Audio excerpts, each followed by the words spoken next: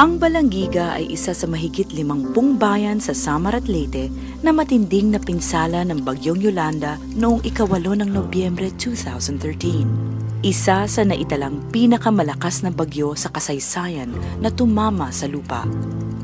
Naging laman ng mga balita sa buong mundo ang sinapit ng mga lalawigang ito dahil sa di mawaring pagkawasak ng mga ari-arian at pagkitil sa mahigit limang libong inosenteng buhay at para sa mga naiwan, nawasak rin ang kanilang mga pangarap.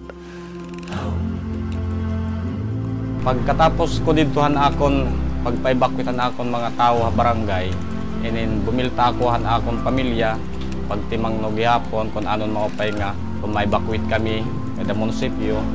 So, sinirangan akong pamilya nga, dini na lagi balay, kay madigon man ini, pag abot na han, han bagyo, kaduro manggod ka, kamakusog manggo hinduro, ma maluya naman ak uma, ugangan, lagas, yung, yung matanda, bumaba kami.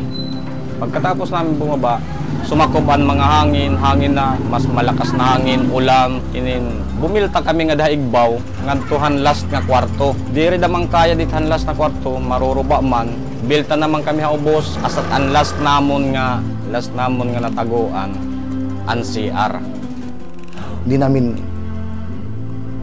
maalam kung how how how we how we survive. Kasi yung Yolanda dito sa sa amin, eh, talagang napakalakas. Although during the nung typhoon Yolanda, so wala kaming hindi gaano yung storm surge dito. Unlike in other places like in Leyte. Pero yung napakalakas nga dito po. Ang damage na na-cause dito is really phenomenal. Ang lawak niya.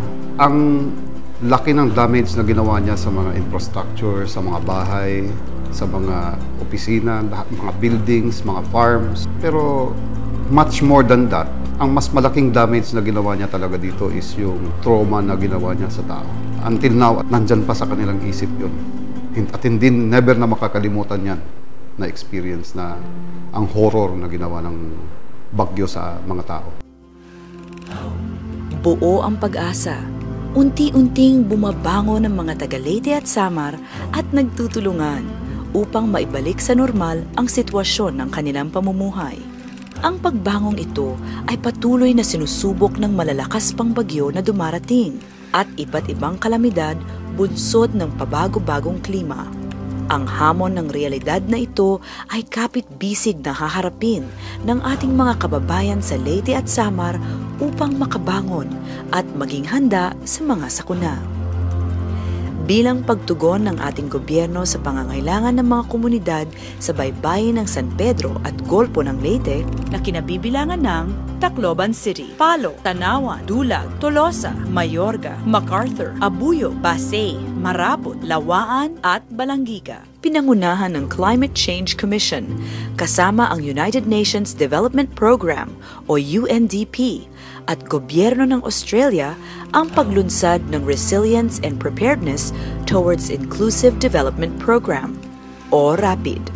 Ang RAPID ay isang pagpapalawig ng programang Climate Twin Phoenix na naglalayong makapagpatupad ng programang magpapaunlad at magpapatatag ng kapasidad ng ating mga komunidad sa kanilang pagharap sa mga kalamidad mula sa pagbabago ng klima at iba pang kaugnay ng mga likas na panganib.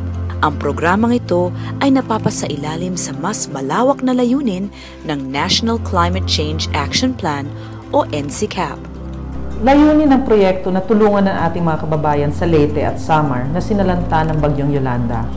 Sa pamamagitan ng kanilang kaalaman, matutulungan natin silang mapahusay ang kanilang kakayahan sa pagbuo ng mga plano at pulisiya sa pagtugon sa mga sakuna at iba pang epekto ng pagbabago ng klima. Hangad rin ng proyekto na mapaunlad ang kakayahan ng komunidad sa pangangasiwa ng kanilang likas na yaman tungo sa mas maunlad na kabuhayan. Sa kabuuan, Hangad ng proyekto na gawing handa ang komunidad sa mga sakuna at maging mas agpang or adaptive sa pagbabago ng klima.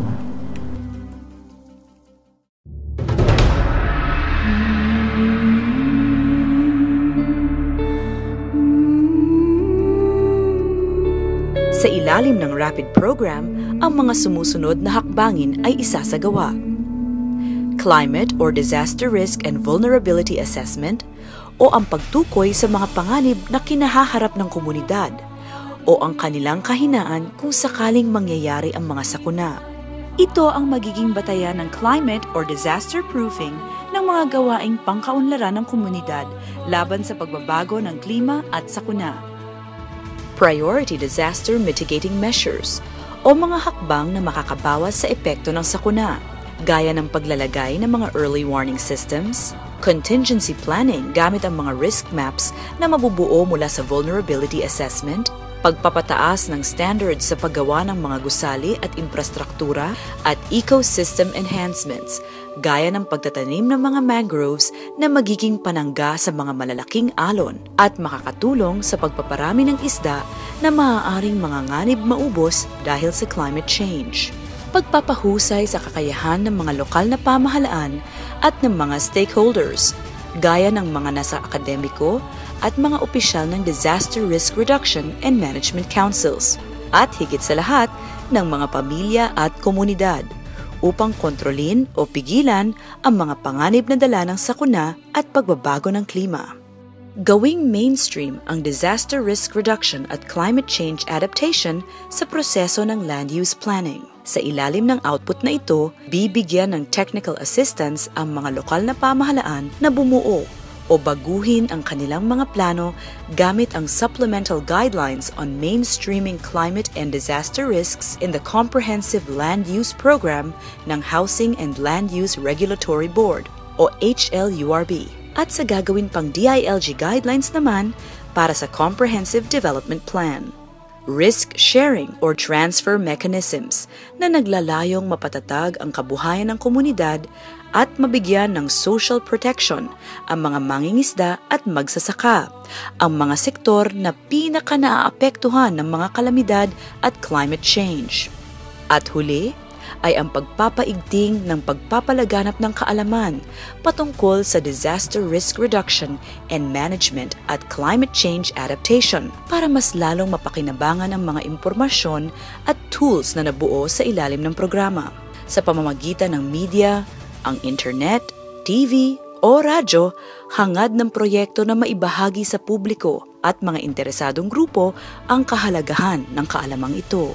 Una-una, ako pinagpapasalamat sa program ito and we are very much willing to accept this program. During the emergency response and now we are on the recovery and rehabilitation phase. Sa lahat po ng donor, kami po yung tao ng mga tao ng Balaniga, kami po ay nagpapasalamat sa kanila. Malaking pasalamat ko rin dito sa Rapid because definitely, no, Yolanda has changed the map, the way we should prepare ang aming mga programs ng preparedness before needs a lot of change. And Rapid will provide us the capacity to prepare and to recover from such incident in the future. Diba? So again, maraming maraming salamat dahil dito sa program ng Rapid.